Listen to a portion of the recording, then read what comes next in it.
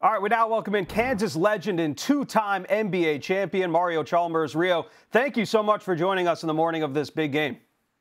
Uh, thanks for having me. No problem. It's our pleasure. It's our pleasure. Let, us start here. It's been over 15 years since the big shot that you had in the national title game, and it, it probably is going to go down in Kansas history as the best shot ever in program history. Can you take us through that moment, starting with Derrick Rose at the free throw line? Because I, I know you had some words for D Rose before he took those free throw shots.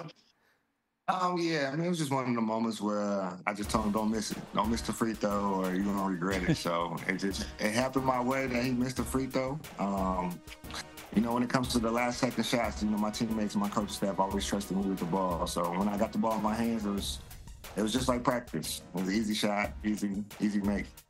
Uh, what was cooler though, because I know recently you hung out with Jason Sudeikis and Sue Bird, and you recreated the shot. Was it cooler making the shot in the moment or recreating it with those those guys?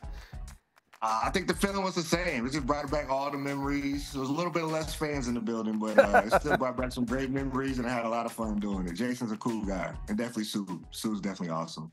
Yeah, probably less pressure uh, in, in, yeah, that, right. in, that, second one, just a little bit. But uh, you know, Rio, I feel like everybody has this idea or a thought of of what the days after making a big shot like that would be on a major college campus. What was that actually like for you? Because that is something that I think everybody dreams about doing, and you lived it. Uh, it was good and bad. Um, I know one thing that happened was, uh, you know, one of my teachers called Coach Self and told him that I couldn't come to class no more because I was too much of a distraction. Like when, the ES, when the ESPN magazine came out, there'd be lines of students trying to get me to sign. Like in the middle of wow. class, they'll come in the classroom and ask me to sign the, the, magazine. So that was one of the craziest moments. It was kind of like I, I couldn't even get to finish my college degree because there's so much attraction coming. But it was a lot of fun just being in the moment enjoying the process and you know just seeing all the, the happy fans and you know the the older town people the elderly people just how much that championship mean to them and um, you know just the smiles that they brought on their face and you know make their lives feel complete and you know that was the biggest thing for me one thing that you, you don't lack, obviously, in your basketball playing career is grit and confidence. I mean, those two things, it feels like you were you were born with those things. When you got to Miami, what, what is it in your mind that made you such a good part to that team and playing alongside the big three? Why did it work so well?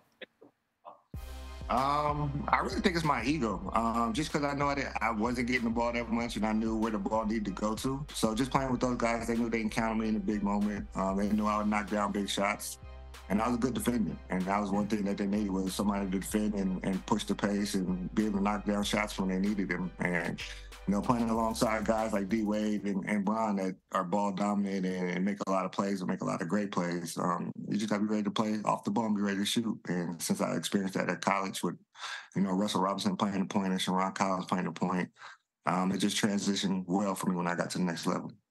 And you know, you played for two of the best coaches to ever coach college basketball. Well, college basketball and pro basketball, just the best basketball coaches ever, really, in Bill Self and Erik Spoelstra. What are the big differences between the two, and what are some of the biggest takeaways that you also had from mm. both of those guys?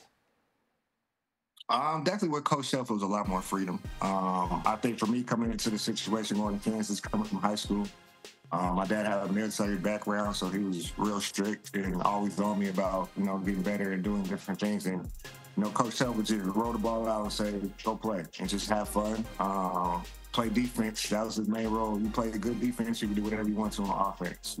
And that was the one thing I took from Coach Self was, you know, always being ready to play defense, always being accountable. And then with Coach Spo, um, it was a learning experience. You know, my first year was his first year as a head coach. So it was kind of learning together and seeing seeing him come up with an offense that was perfect for our style of team with, you know, the big three and shooters and Mike Miller, Ray Allen, Shane Battier, me. Um, he really went to the drawing board and figured out an offense that will help us prevail and help us win those championships. And just seeing his dedication to making himself better and making his team better um, is just selfless. And that was one thing that was always preached around Miami was selfless. Well, you just mentioned some pretty good shooters there, and, and you yourself went on uh, the OG's podcast with a couple of your former teammates, UD and Mike Miller, and essentially, correct me if I'm wrong, but you had said that you would basically outshoot anybody in Heat history. Do you stand by that statement? And could you outshoot anybody in Kansas basketball history? Because there, there's some great shooters uh, that played for Rock Chalk Jayhawk, too.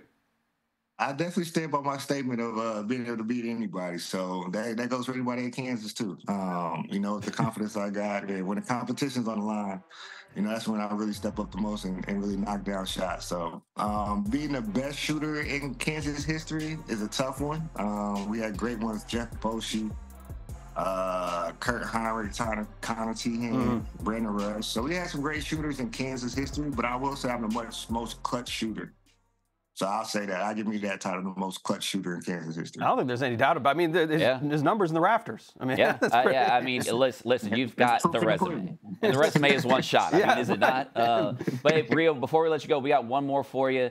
Your Jayhawks got a big one tonight against Baylor. What has been your assessment of this team so far this season, especially as we're coming down the stretch here, and they've got some big games coming up as we finish conference play?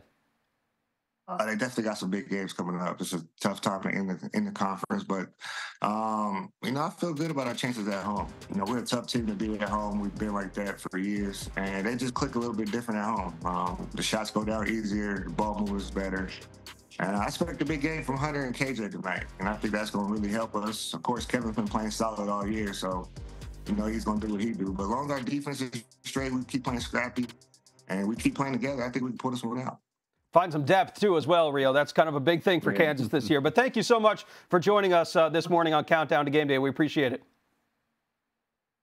Thank you for having me. Appreciate it. So